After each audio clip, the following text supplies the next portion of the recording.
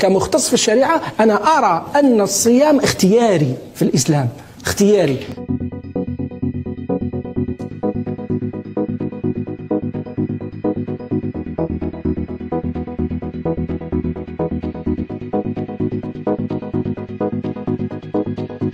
البقرة 184 يقول لك وعلى الذين يطيقونه فدية. يعني الإنسان اللي يقدر يصوم وما يحبش يصوم ما يحبش ما نفحتلوش ما نفحتلوش يصوم. هو قادر على الصيام ما عنده حتى مرض ما عنده حتى مشكل لكن ما حبش يصوم لا يريد لا يختار أن يصوم عليه فدية.